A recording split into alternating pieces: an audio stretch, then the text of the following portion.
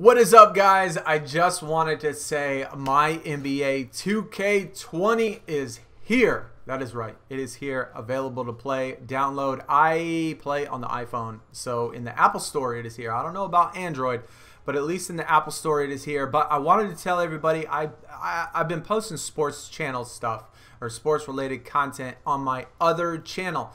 So if you have not seen that other channel, if you've not subscribed to that other channel, go in the description, hit that link, go over there and sub because that's where I'm going to post all of my 2K content. Anyways, guys, I did post a video on that channel if you're interested to see it and uh, watch it. It kind of does the intros and all that stuff. But if you've played this game before, you know what it's about.